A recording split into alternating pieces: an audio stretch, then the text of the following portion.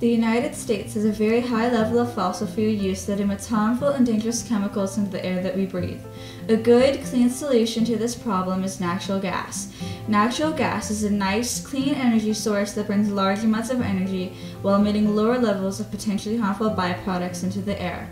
It is also cheaper than gasoline, helping you to get more bang for your buck. So, America, choose the wallet friendly energy source for your family at Natural Gas America. Where we're so close to nature, they call it natural.